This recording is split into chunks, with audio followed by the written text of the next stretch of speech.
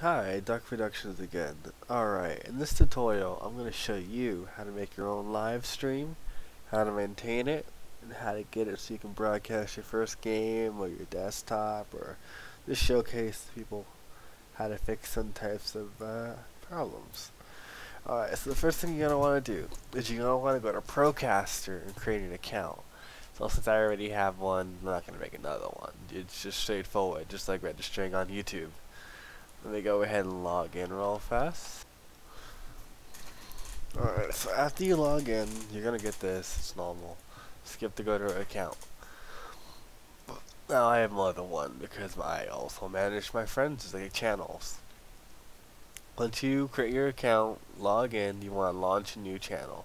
Now this is completely free service. There's no there's no bull, there's no side plans where they let you broadcast for like five times and they're like, hey, it's time to pay now.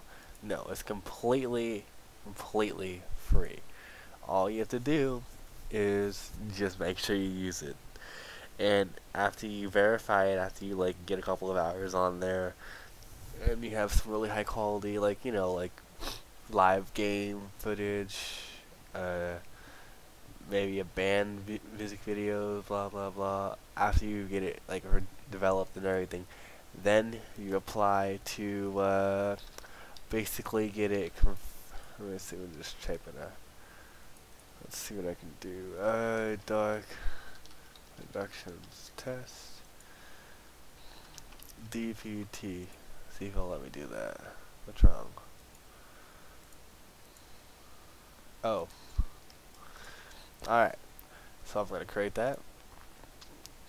And now I have my own. Let's see, where are you?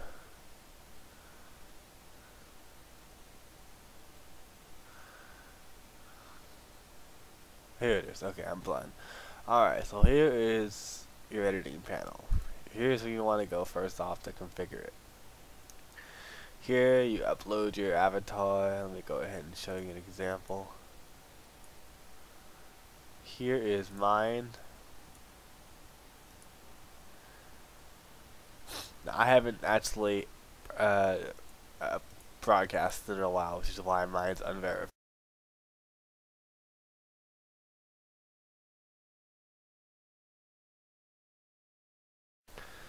Um, uh, the ads are um, basically every 15 minutes, and it's random.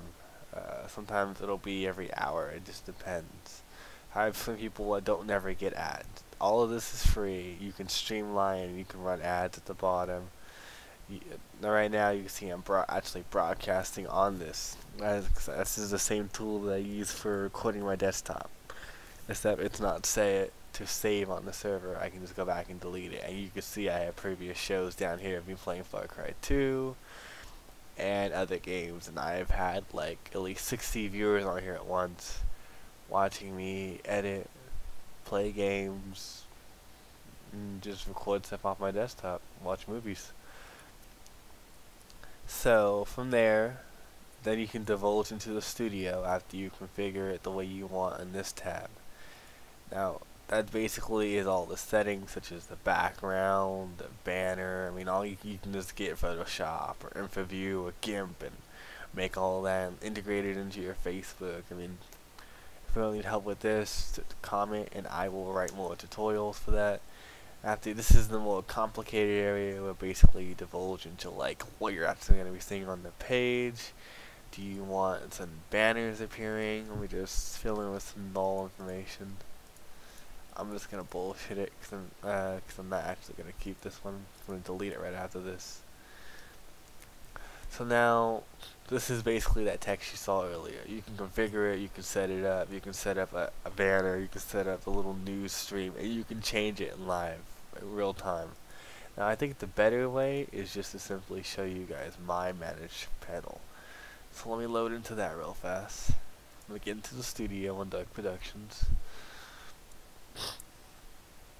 Alright, so here is my studio for Dark Productions, and it's all, I've already figured out how I do it and everything and whatnot, so it's all set up already. So I basically have it set up so it rotates like a television, like a TV. It's replaying everything I've done in the past.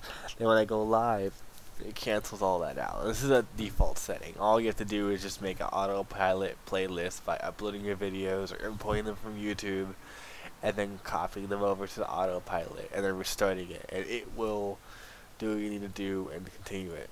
And you can integrate this and put it into your brow into your websites. It's able to get started and it'll give you the code, you can customize the color and whatnot and everything. Um, let's see, this is basically where you import your videos to a storyboard.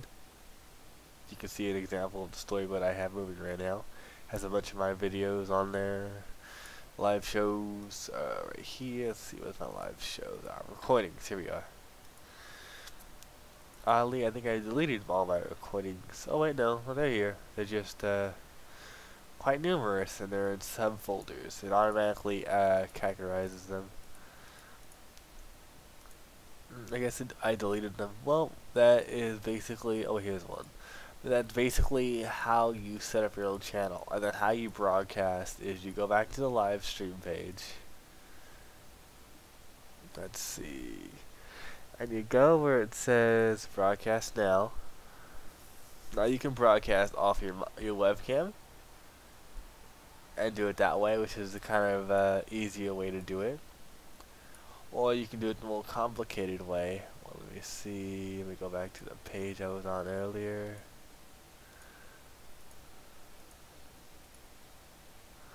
Where you download the client for the Mac or the Windows, depending on what you have, and you simply just log in with the same login you did here. You choose your channel if you have more than one channel for different stuff.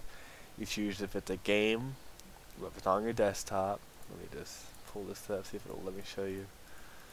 Uh, no, it will not let me show you, but basically you do it in that manner, and then you can record it, you can set the quality, it just depends on your internet speed, and that's basically how you make a gaming channel or a live station, and you maintain it, you can use it for music, so you can play your own radio station, other people do it on Procaster, and you can see all the channels here for pretty much gaming, music, radio stations, the latest news channels, everything. There's a lot of stuff you can do in Procaster. Thank you for watching my tutorial and comment if you have any questions. I'll probably end up making more complicated ones on how do you actually break down and add ads to your channel and how to integrate it into your websites and all that good stuff.